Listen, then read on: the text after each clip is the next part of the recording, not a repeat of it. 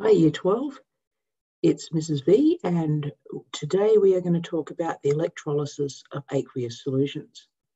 Now, aqueous solutions just means anything that's dissolved in water.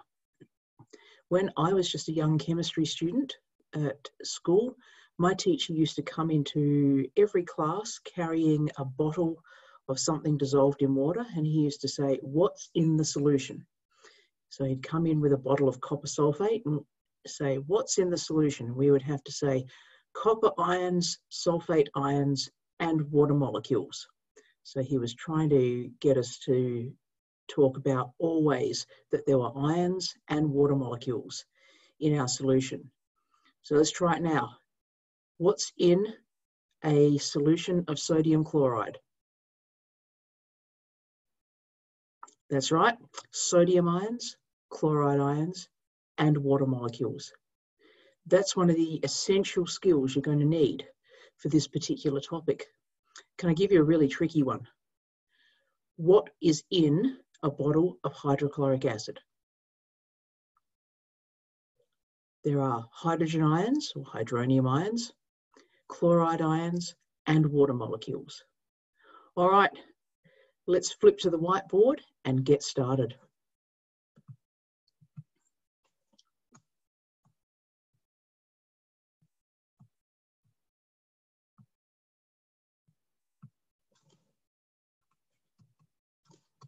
Okay, so we are looking at your chemistry booklet. We are looking at page 25 and we're looking at electrolysis of salts in aqueous solution. Pause the video and I'm just going to turn myself off here. There we go, that's better. Now we can just see the whiteboard without my shining face in front of the fireworks.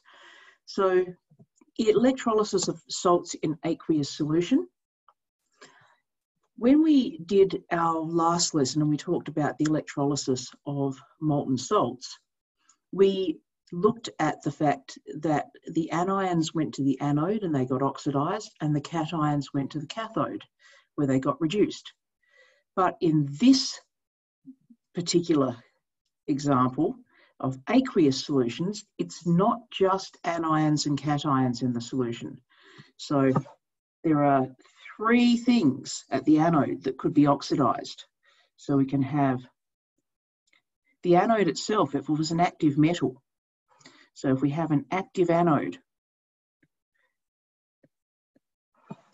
so that's any metal, probably not something as unreactive as gold or platinum, but gold would still work.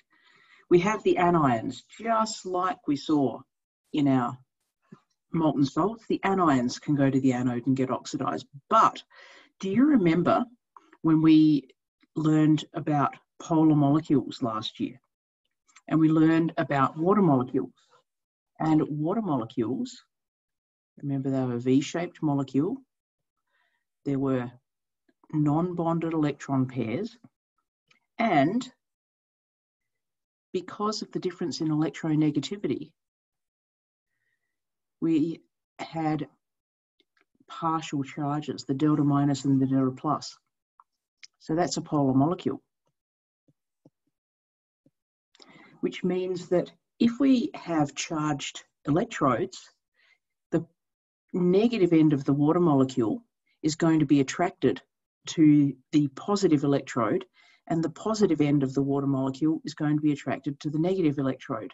So the water molecules themselves are going to actually move toward the anode. And at this point, I want you to turn back to your electrochemical series because we've got water being able to act as both an oxidant and a reductant.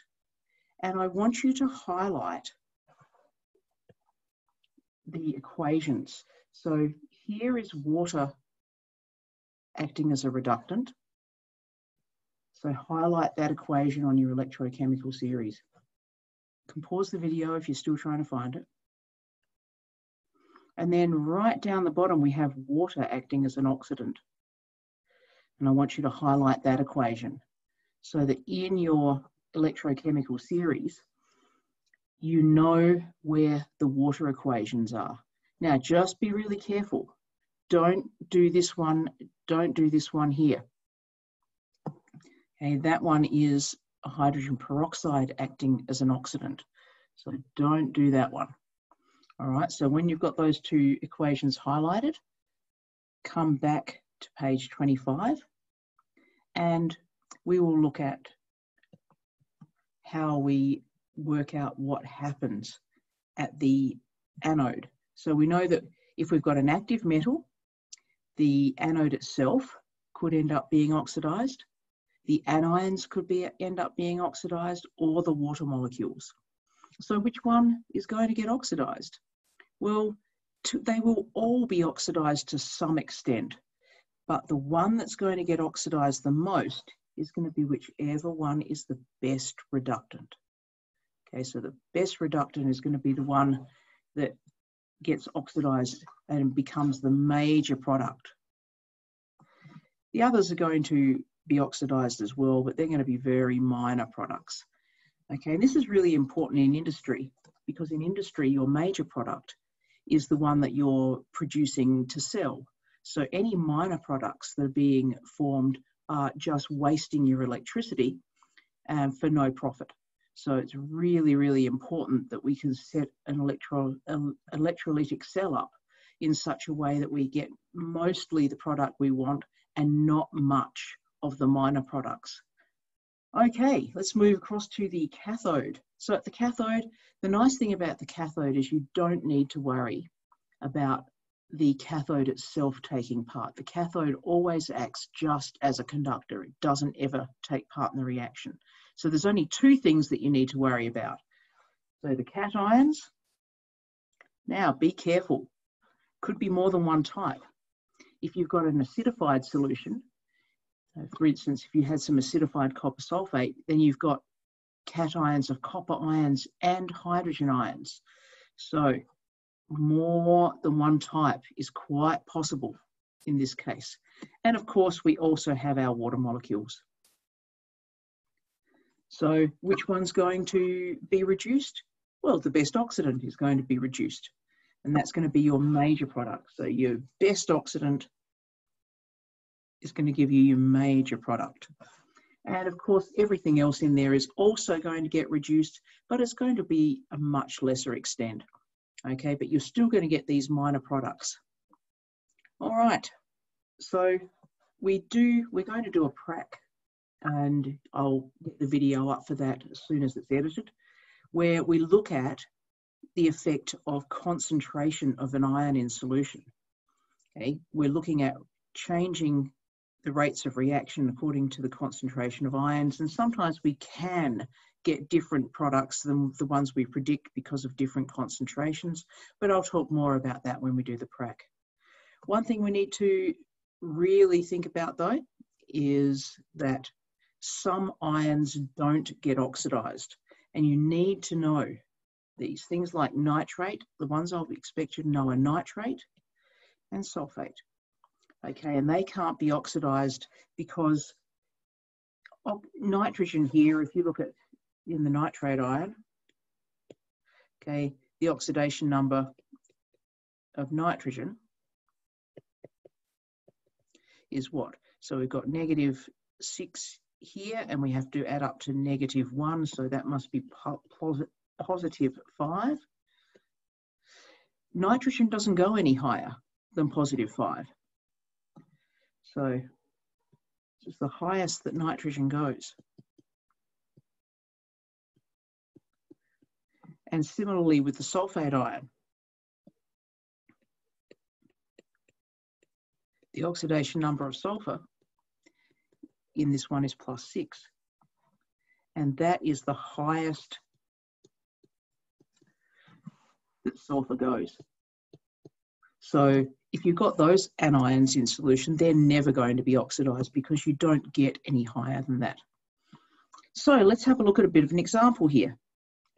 So over here, first example in your book, determine the major reactions so we're not going to worry about the minor reactions here. We're just going to do the major reactions that are occurring for the electrolysis of copper 2 sulfate solution with graphite electrodes.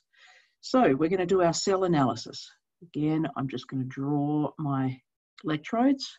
This is going to be my positive. This is going to be my negative. Then I'm going to write down all of these species that are in the solution. So this is where my teacher's question comes in of what's in a copper 2 sulfate solution. Well, there are copper 2 ions, Cu2 plus. There are sulfate ions, SO4 double minus. And because it's a solution, there are water molecules. Now we need to know which way they're going to go. Well, the copper ions are positive, so they're going to get attracted to the negative electrode. The sulfate ions are negative, so they're going to get attracted to the positive electrode.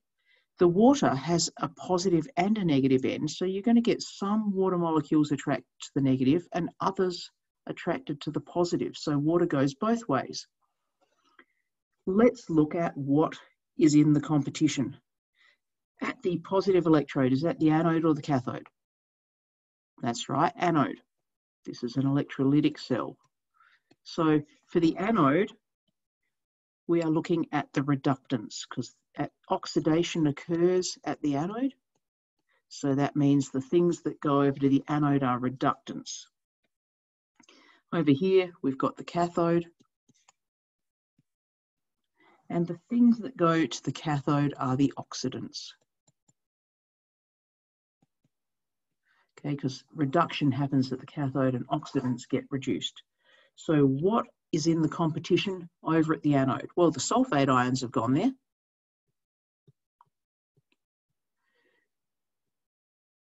And so have the water molecules.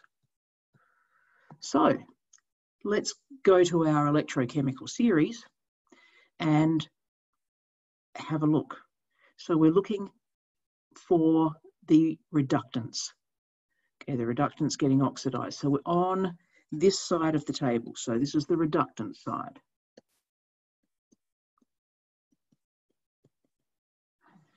So we can find our water here. We can find our water. And we won't find the sulfate ion because the sulfate ion is one of those where it never gets oxidized. So when we come over to our cell analysis here, we know that this does not, never gets oxidized.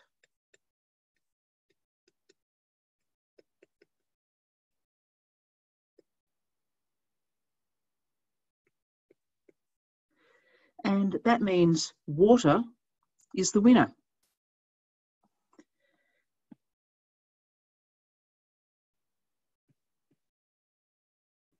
So it's the winner. And so we're going to actually get the equation where water is oxidized. And when water is oxidized, we get oxygen. So we get two waters and four H pluses and four E minuses.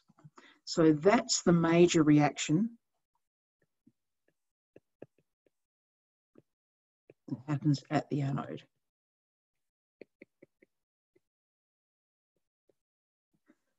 Okay, across to the cathode. Who's in the competition? The competition is copper ions and water molecules. So copper ions versus water here. So let's go to our electrochemical series. Remember, at the cathode, we're looking at the oxidants now. So we're looking at the oxidant side. Let's try the green pen.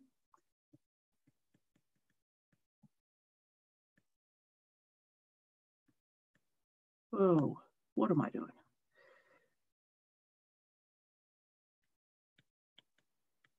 So there's the oxidant side. Let's find our water. Not this equation up the top. That's oxygen being an oxidant. Let's go and find water being an oxidant. And what else do we have in the mix? We have, here we had copper ions in the mix as well. So we had copper ions versus the water molecules. So let's find the copper ions on the reductant side. Here they are. So which one's going to win? The stronger oxidant. And on the oxidant side, you'll notice that they get stronger as they go up. So this is stronger and this is weaker. So copper ions are going to win this one.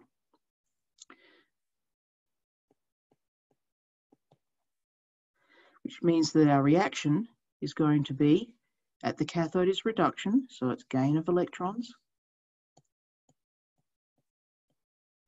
So that's going to be what we see. Now, what are we going to notice here? So this is going to be, we're going to see a coating of copper forming on the cathode.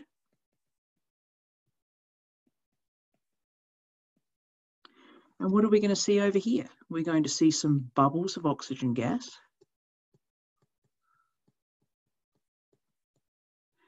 And we are going to see the pH, concentration of hydrogen ions. Oh, what is it doing? Concentration of hydrogen ions increases. Therefore, the pH decreases. So that's what we're actually going to observe happening. We're going to see some bubbles of oxygen gas. And if we test the um, pH of the solution, we'll notice that the pH of the solution will be less than seven here because we started with water. All right, your turn.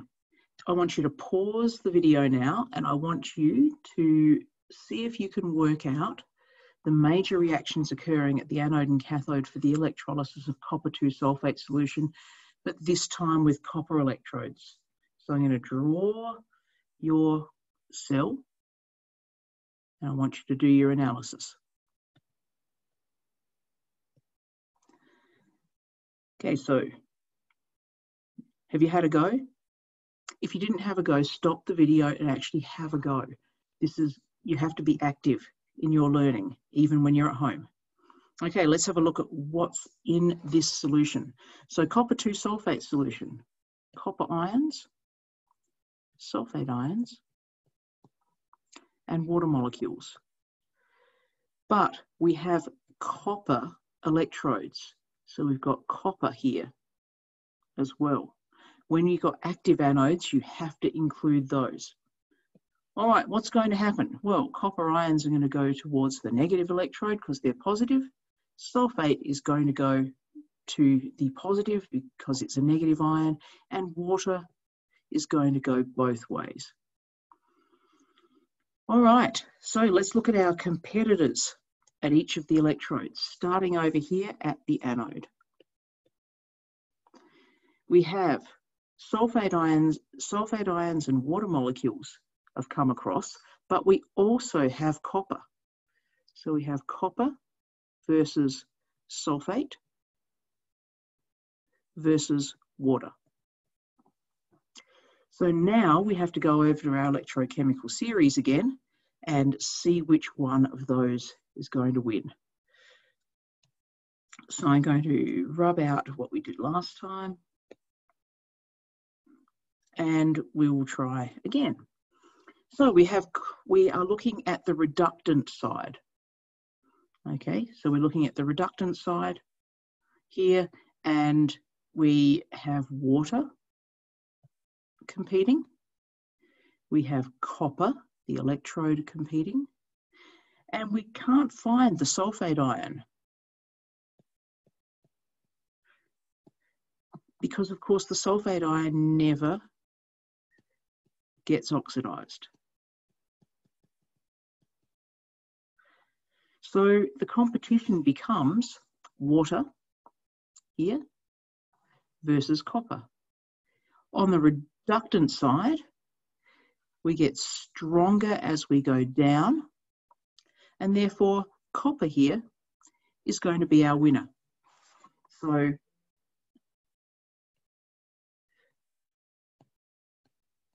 copper's our winner, And that means our reaction is going to be copper getting oxidized to copper ions and two electrons. All right, across to the cathode now. So our cathode here, remember we are looking now at reduction, so we're looking at oxidants getting reduced. Remember, the material of the cathode never takes part. So what we have here is a competition between copper ions. That's the worst copper ion symbol that I've ever drawn. Just saying something. Copper ions and water molecules. And we did, if you look back to our last example, we did that and we found out that copper ions were going to be the winner there.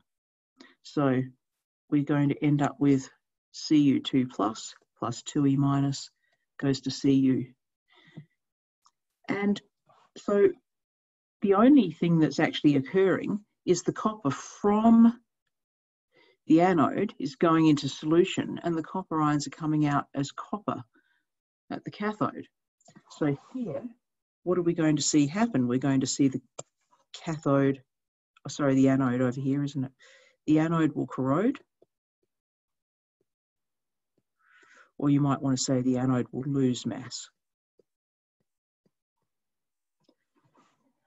Over on the other side, what we're going to see is that the cathode will gain mass.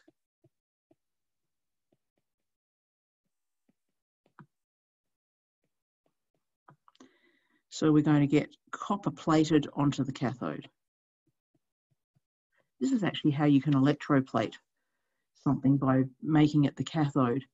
And if we were at school, we would actually do that and you could all electroplate coins with copper. Um, copper plated on cathode, that's what we were doing.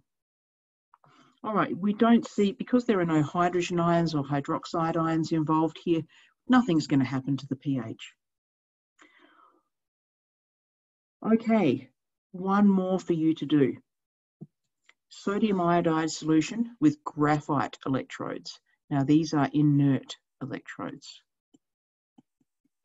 so they won't react. It's always nice to have inert electrodes because you don't have to worry about them. Okay, so one more example. Let's do the analysis.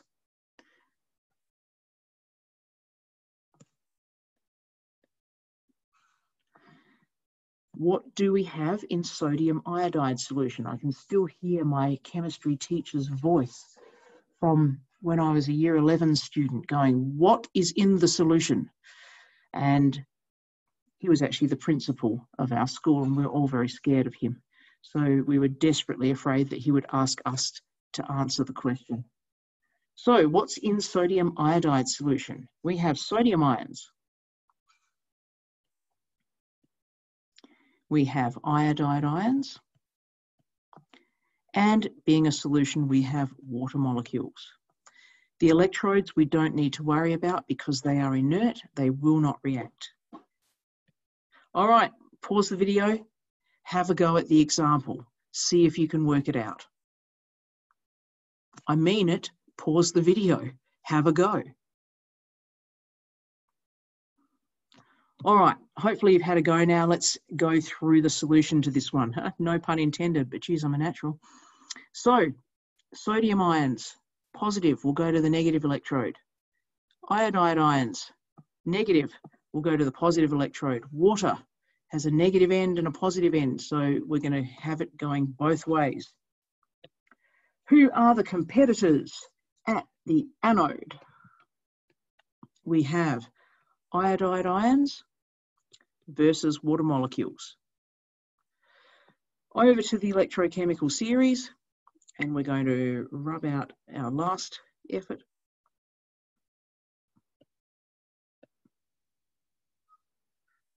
Oh, that won't rub out. Oh well, copper selected forever. What do you know? All right, we are at the anode, so we're on the reductant side. So we want to find iodide ions. There they are. And we want to find water molecules. So because we have an inert anode, that's all that's competing. Remember, the increasing strength of reductants goes this way, which means that this one, our iodide ion, is the winner.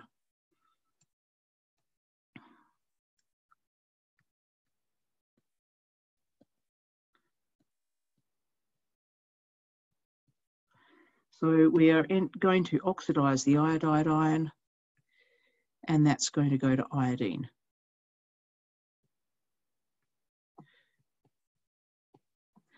What will you see? This is sort of a pale yellow solution. And this is a brown, this is brown in water if you were actually studying this reaction, you'd probably use some starch to indicate it. But we're not worrying about that today. All right, at the cathode, what do we have? We have sodium ions and we have water molecules across to the electrochemical series. We're over, because we are reduct we're looking at the um, oxidants now because we're looking at the cathode. Let's find our sodium ions. Whoa, all the way down there. Sodium ions here, water molecules.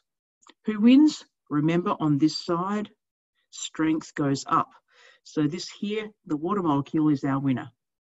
So we're going to end up with water being the winner here.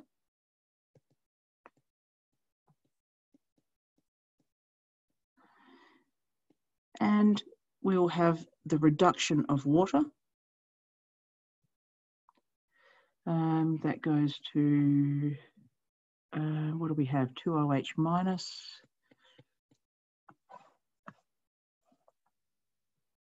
Um, or is it 4OH minus? Where's my equation? Here it is. 2OH minus, yes, and hydrogen gas.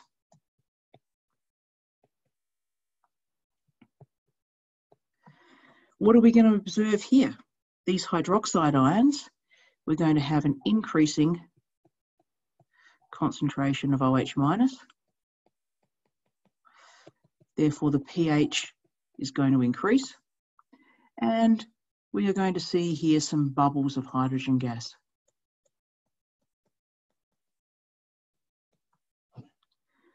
Okay, it's time for you guys to have a go at the worksheet now, and I will see you in the next lesson.